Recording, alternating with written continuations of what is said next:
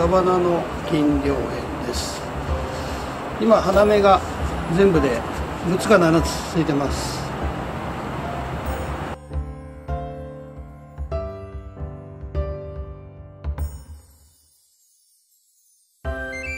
これは白花の金両編です。花芽が全部でこれは4つか5つついてます。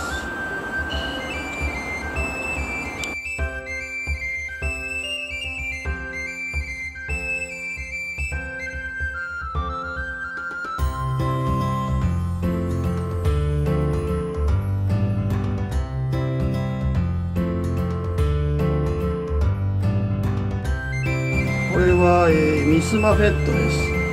デコニアナムと金両片を掛け合わせたものです。毎年5つ6つの花芽がついてますが今季は今4つ？4つは確認できます。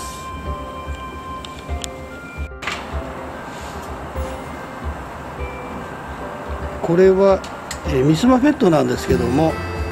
おそらく、えー、花芽ではなくって葉芽です、まあ、全体的にまだあのちっちゃい株ででこういうふうに先が細くって先が細くなっていて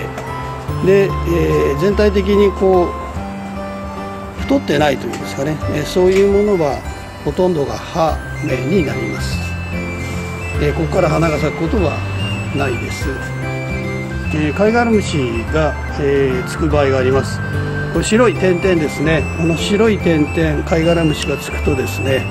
えー、そこから養分を貝殻虫が取ってしまいますので、えこれはまああんまりついてない場合は歯ブラシ歯ブラシ使い古しの歯ブラシを使ってこの白い点々を除去してください。はい。え。冬場12月から1月の金量編の管理は基本的に水はあんまりあげなくて大丈夫です、まあ、1週間に1回程度。気温にもよりますけれども1週間に1回程度ですね気温の上がった昼間にお水をたっぷり下から出るぐらいの感じでお水をあげてください。基本的には休眠期に入ってますので、えー、肥料もあげなくって大丈夫です。で大切なことは花を咲かせるためには一度、えー、気温の低いところに当ててあげるということが大切になります、えー、これ北九州でだいたい気温が今最低気温が5度ぐらいで最高気温10度ぐらいです、えー、まあ、マイナスになるとちょっと問題あるかもしれませんが、えー、基本的には外に全部出しています、えー、部屋の中に取り込むのは2月になってからです。1月の間の寒い時期に外で冷たい気温の中に置くことによって花が咲くようになります。でその後、ま、2月になってから、分蜂期に合わせて部屋の中に入れるんですけれども、部屋の中に、入れてから、まあ、大体1ヶ月ちょっとで、開花満開に、なってきます。部屋の中に入れてからの管理に関しては、霧吹きで水をあげる、まあ、破水というやり方を、えー、とっています。